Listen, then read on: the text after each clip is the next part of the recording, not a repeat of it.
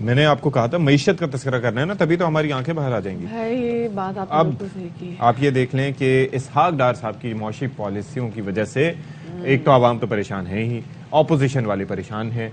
और अब पार्टी के अंदर से भी आवाज़ें उठना शुरू हो गई हैं कि भाई ऐसा ही करना था तो फिर मिफ्ता को क्यों निकाला? बिल्कुल जी, जैसे हम कल भी बात कर रहे थे और कल जैसे डॉक्टर आबिद सुलेरी साहब हमारे साथ मौजूद थे, वो ये बात कह रहे थे कि अगर मिफ्ता इस्माइल साहब को उस वक्त जो वो कर रहे थे, वो करने देते, और एक और चीज़ उन्होंने बहुत अच्छी की और मेरे ख्याल से we all should learn from it कि कभी भी आईएमएफ क्योंकि ऐसा हो नहीं सकता कि हम आईएमएफ के पास जाए, बगैर अपनी हुकूमत चला लें, क्योंकि ये पहली हुकूमत नहीं है और कोई आखिरी हुकूमत भी नहीं है, जो आईएमएफ से रबता किए बगैर बगैर मामला को चलाएगी। सो आई एम एफ़ पर कभी भी सियासत नहीं करनी चाहिए। तमाम तो जो पॉलिटिकल पार्टीज़ है ना ये अपने पल्लू से बात बाँध लें। क्योंकि अगर आप आज सियासत करें तो अगले दिन खुद आपको उसका सामना करना पड़ेगा और फिर आपके सामने तमाम तो सिचुएशन भी होगी। तो खैर यही बात है कि जी अब हम देख रहे हैं कि साग डार साहब जो कि कहते थे I don't care we will manage but now he care जी और जी वो point is कि he does but only the people of Pakistan are suffering. They are not suffering at all. क्योंकि वो अपनी काबीना बढ़ाए जा रहे हैं अपने शशके। आज ही हमने सुबह सुबह आपको बताया कि भाई पचहत्तर मिलियन रुपए वज़ीर आज़म ऑफ़िस के लिए मांग लिए कि तनख्वाहें नहीं भाई खर्चे बढ़ गए। खर्चे बढ़ गए सर जी। मुलाजमीन अच्छा के खर्चे अब मसला लेकिन ये कि जो इसहाक डार साहब की जो पॉलिसीज़ हैं मतलब ऑफ़ कोर्स उनको बातें तमाम तर माननी है जो आईएमएफ ने कहा था तो आप पहले मान लेते तो ज़्यादा बेहतर हो जाता। आज वो जो इतनी शेकी पोजिशन है उससे हम आगे जा चुके होते हैं। जो विद इन मुस्लिम लीग नून अब आवाज़ें उठना शुरू हो गई हैं कि भाई ये इसहाक साहब को आप हटाएँ मतलब यहाँ तक बातें भी लोग करें कि इनकी वजह से हमारी पार्टी का जो जो पॉलिटिकल वो जो कहते हैं ना कि पार्टी की जो सियासत है, वो अब खतरे में पड़ गई क्योंकि आगे जब इलेक्शन में जाना है तो वो क्या चीज़, क्योंकि हर पार्टी का कोई पॉलिटिकल मंजन होता है ना, वो क्या चीज़ बेचेंगे? क्योंकि महँगाई आपने देखी, इतनी ज़्यादा आपने कर दी और आप तो महँगाई के खिलाफ थे। तो अब जो है मुस्लिम लीग नून आगे खड़ी हो गई है इस बात मतलब पार्टी के कुछ लोग इस बात पे आके काफ़ी ज़्यादा बजिद हो गए कि आप इनको हटाएँ। वो कह रहे हैं कि पूरी पीडीएम को इसमें शामिल करें क्योंकि जो महँगाई हो रही है तो उसमें सिर्फ़ और सिर्फ़ जो लोग हैं वो जो तनकीद कर रहे हैं वो मुस्लिम लीग नून और इसाकदार साहब को कर रहे हैं। और इसाकदार साहब और नून लीग को भी इसलिए क्योंकि मरीम नवाज़ साहिबा ने बड़ा इनको सपोर्ट किया था जब वो आए थे बात हाँ जी। लेकिन अब मरियम साहिबा कहती हैं कि हुकूमत तो तब होगी जब नवाज़ शरीफ पाकिस्तान अभी उनकी हुकूमत नहीं, अभी उनकी। हुकूमत नहीं है तो फिर शहबाज शरीफ साहब फिर सोच लें कि फिर क्या उन्होंने करना है। और आप ये देख लें कि पीपल्स पार्टी कितनी ज़बरदस्त तरीके से उन्होंने अपने आप को साइड पे रखा हुआ दिया। ये आप इमेजिन करें कि उनका सारा फोकस इस वक्त खारजा महाज पे है।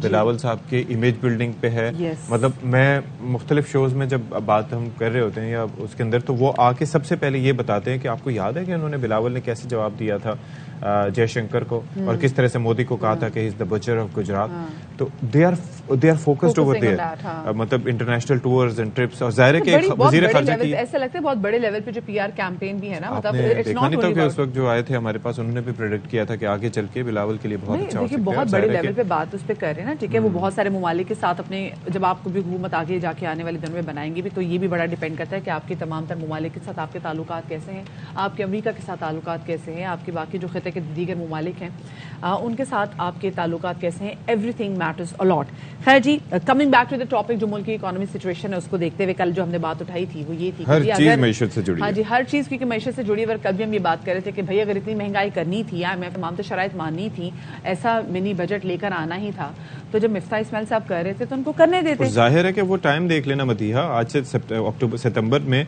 अशारिये मुस्बत जाना शुरू हो गए थे। We were on the track तो वी हम ऑफ़ ट्रैक कैसे हुए जरा बात कर लेते हैं। From the man himself Miftah Ismail साहब हमारे साथ मौजूद हैं सबक वज़ीर खजाना।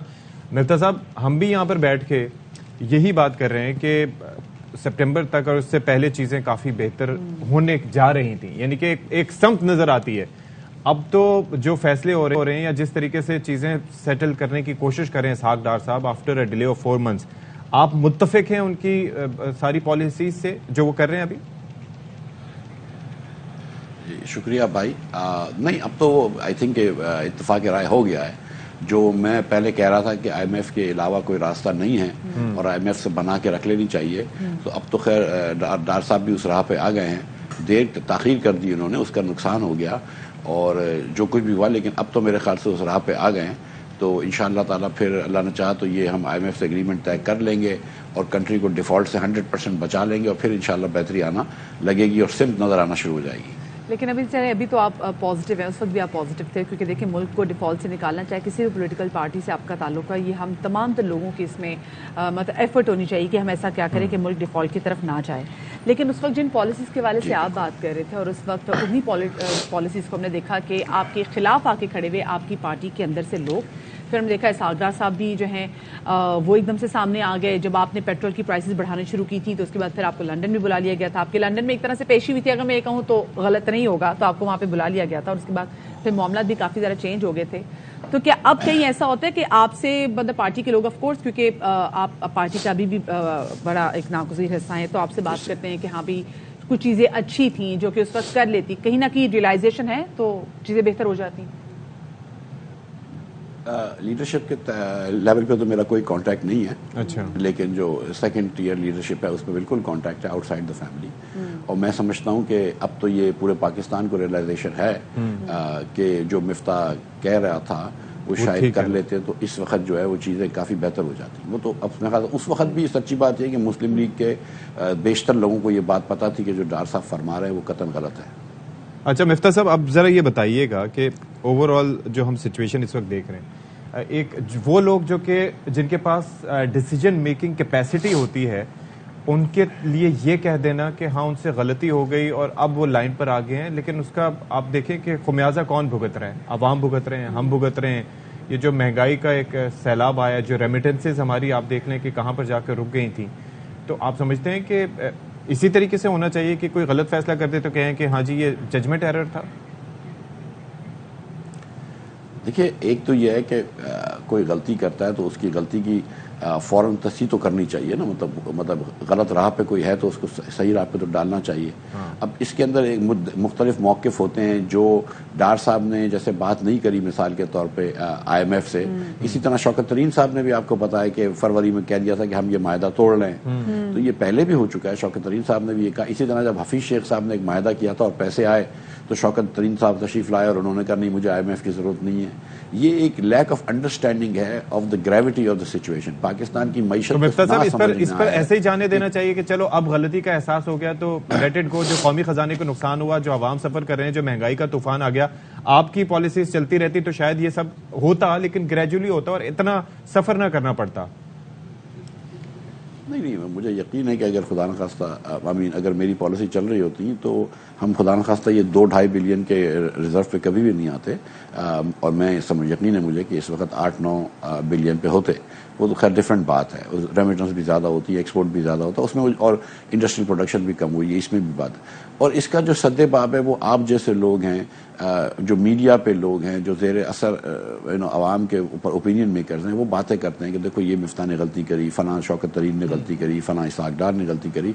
और जो आप लोगों की जो एनालिसिस होता है और दीगर लोगों का एनालिसिस होता है, उसी से लोग फिर सीखते हैं और आवाम जो है उसकी सरजनिश करती है फिर इलेक्शन के वक्त पर आपने बिल्कुल सही बात की, लोग इससे सीखते हैं, चले हम इस पर बात भी कर लेते हैं। लेकिन देखें यहाँ पे जो स्टेक होल्डर्स हैं, जैसे हम अगर शौकत तरीन साहब के वाले से बात कर लें, उनकी स्टेटमेंट देख लें, उनकी खतूत देख लें, फिर उसके बाद फिर जो इसाकडार साहब पहले जो बार बार कहते हैं कैर केयर तो मतलब आई एम एफ़ तो इस तमाम चीज़ें जो वो वो भी सुन रही थी ना कि पाकिस्तान की जो इस वक्त पोलिटिकल लीडरशिप है, वो क्या बातें सोच। तो आपको नहीं लगता कि इस तरह की स्टेटमेंट्स इस तरह की पॉलिसीज़ और इस तरह के फैसलों की वजह से भी मुल्क की मीशत जो है, वो फिर काफ़ी ज़्यादा सफ़र करती है? बिकॉज़ फिर आई एम एफ़ का रवैया हम देखते हैं कि और सख्त हो जाता है।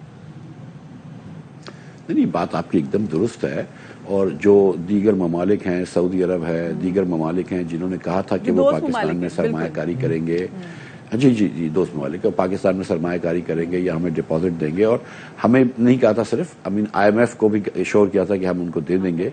वो सब पीछे हट गए कि जब ये आप खुद पाकिस्तान अपनी मदद आप नहीं करना चाहता तो हम कैसे मदद कर सकते हैं? हम्म। लेकिन अब चलें अब जो अब हम अगर आ गए देर आए दुरुस्त आए लेकिन अब जब हम राय रास्त पे आ गए हैं तो वो चीज़ें उसकी तलाफी हो जाएगी। लेकिन जो आपका फंडामेंटल सवाल है मैं समझता हूँ कि उसका फैसला तो इलेक्शन के अंदर ही होना चाहिए कि जहाँ पे अवाम फैसला करे कि भाई फला आदमी ने या फला पार्टी ने अच्छा काम किया एक तो ये होता है कि देखें बात यह है कि आपसे जो उनकी नज़र में गलतियाँ हुई और ज़ाहिर है कि उस वक्त जो सख्त फैसले होते हैं तो आवाम भी उससे परेशान होते हैं लेकिन उनकी नज़र में जो आपसे गलतियाँ उसके ऊपर उन्होंने उनको निकाला आपको निकाला।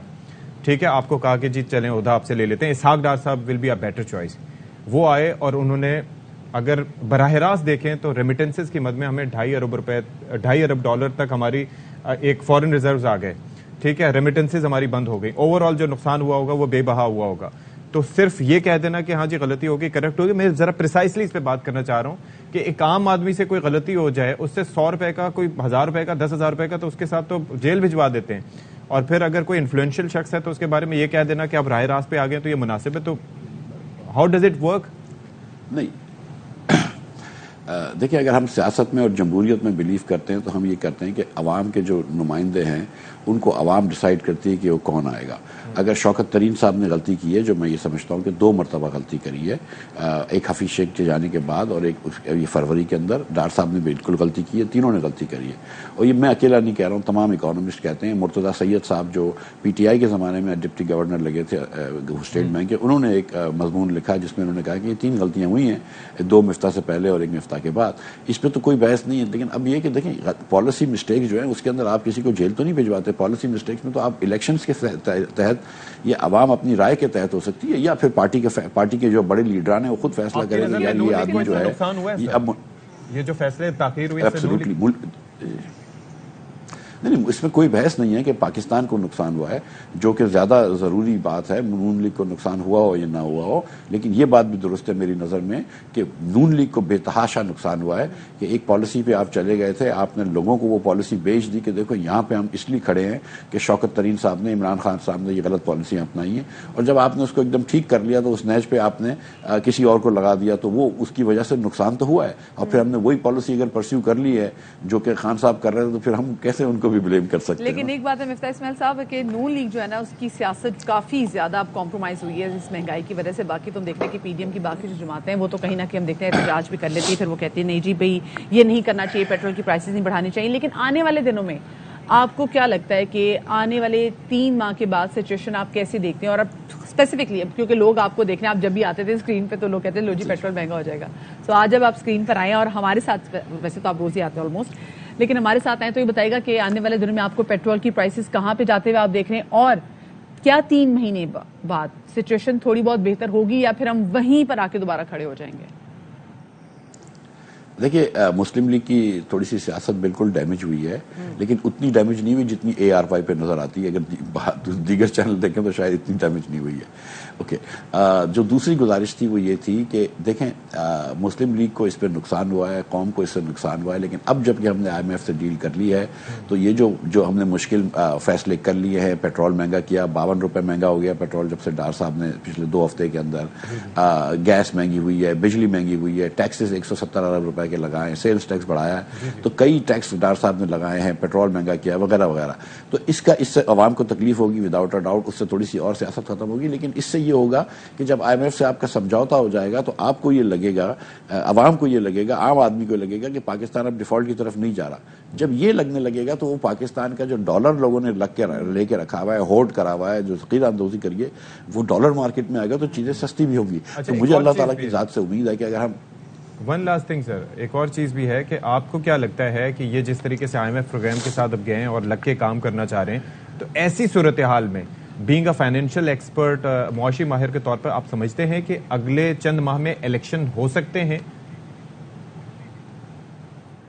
देखिए एज माशी मायर में आपको ये बता सकता हूँ कि इस प्रोग्राम आईएमएफ के ख़त्म होते ही अगला प्रोग्राम जो है वो आईएमएफ का ज़रूर करना होगा हम्म। और जैसे ही अगस्त में ये हुकूमत की टर्म ख़त्म होती है तो अक्टूबर में इलेक्शंस भी जो होते हैं वो उससे बिल्कुल हो सकता है अक्टूबर के बाद एक नया आईएमएफ हम्म। का प्रोग्राम होगा लेकिन जो असल मसला है वो ये नहीं है कि वक्फन फ़वक्फन को हमको ये किस्त मिल जाए वो किस्त मिल जाए हम्म। हमको ये सोचना होगा कि सत्तर सालों में हमने पाकिस्तान को सही तरीके से नहीं चलाया है और यहाँ पे पाकिस्तान के अंदर आधे बच्चे स्कूल में नहीं जा रहे आज हमने पाकिस्तान जो है वो चंद अशराफा की अशराफिया के लिए तो बहुत अच्छा है लेकिन लाखों करोड़ों बच्चों के लिए अच्छा नहीं है। इसलिए शायद अब्बासी साहब मुस्तफ़ा नवाज़ खोकर साहब और मैंने एक री इमेजिनिंग पाकिस्तान की सेमिनार सीरीज़ की है। और कल इन ताला कराची में दोपहर के डेढ़ बजे आईबीए के सिटी कैंपस में होगी। तो हम उम्मीद करते हैं कि लोग उधर आएँगे। हमने बहुत अच्छा एक रिस्पेक्टेबल इंतज़ाम किया हुआ है। सबको, मेरी भाइयों को भाइयों को सबको सीटें मिलेंगी। तो अगर लोग आएँगे तो हम अब इस तरफ़ जा रहे हैं कि यार, ये जो पाकिस्तान हमने चलाया है, इसकी हुक्मरानी दुनिया की ख़राब तरीन हुक्मरानियों में से है। कोई भी पार्टी हो पावर में हमने देख लिया। मुशरफ साहब भी कामयाब नहीं हुए, खान साहब भी कामयाब नहीं हुए मुस्लिम लीग भी पाकिस्तान के लोगों को आगे नहीं ले जा सकी, जिस तरह ले जाना चाहिए, पीपल्स पार्टी भी नहीं ले जा सकी। तो ऐसा कैसे हो सकता है कि आधे बच्चे हमारे स्कूल में ना हो? ऐसा कैसा हो सकता है कि बांग्लादेश का एक्सपोर्ट बढ़ रहा हो हमारा कम हो रहा हो? ऐसा कैसे हो सकता है कि हमारे पास दो ढाई बिलियन डॉलर हो और बांग्लादेश के पास 600 ऐसा कैसे हो सकता है कि बांग्लादेश को पास। हमको- 4.7 बिलियन डॉलर डिस्पर्स भी हो गया और हमें एक अशारिया दो अरब डॉलर देने के लिए इतना तामुल से काम हो रहा है। देर सो मेनी फैक्टर्स सही कह रहे हैं आप। ठीक है जी बहुत शुक्रिया। साबिक साबिक वज़ीर खजाना मिफ्ता साहब हमारे साथ मौजूद थे।